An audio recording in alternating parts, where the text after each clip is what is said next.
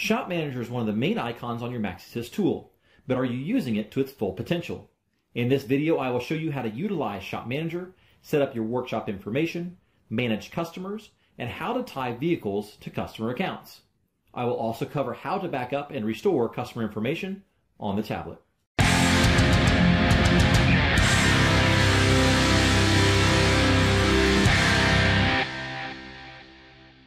Shop Manager is made up of three different parts that all work together to help the shop maintain customer information and diagnostic history. Going into Shop Manager, you will see vehicle history, workshop information, and customer manager. Let's start at workshop information. Workshop information is all about your shop. This information will be used when printing diagnostic reports from the tablet and also used when requesting support or sending data logs. The information you enter here will show up as a header on any reports printed from the tablet. The next feature we will look at is vehicle history. When we access vehicle history, you will see that the system automatically captures each vehicle scan you have done and any codes that are present during the scan. This scan information is very valuable, but it can also be very overwhelming. Autel has developed a way to tie vehicle scans to customer profiles. You can do this one of two ways, but the results are the same.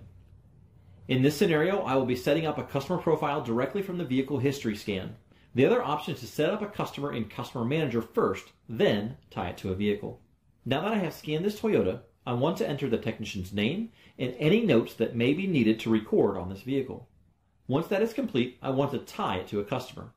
You will notice that some boxes have required information.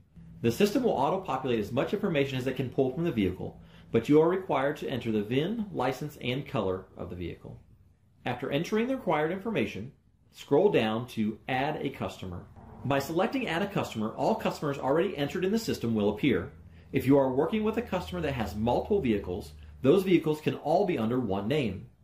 If your customer is not already in the system, select Add a Customer. From here, you will enter the required information, first and last name, and contact number. You can even take a picture of the customer or their vehicle to add it to the profile. From this point on, anytime you scan a customer's vehicle, it will automatically appear in the customer's profile. By going to Customer Manager, you can select the customer and see any scans and notes done on that vehicle. Here you can see all past scans and review the codes present at that scan. You are also able to print these past reports. While we are in the Customer Manager, I also want to point out the option for General Notes. You can use this section for recommended repair information, voice notes, add pictures, or record video to a customer's account. There could be times that you will need to back up this data. If your tool has to be sent in for repair or a program becomes corrupt, for example. Before you erase the data on your tool, make sure you back up the customer and scan files. This is a simple process on all MaxiSys tools. You first want to install a micro SD card into the MaxiSys tablet.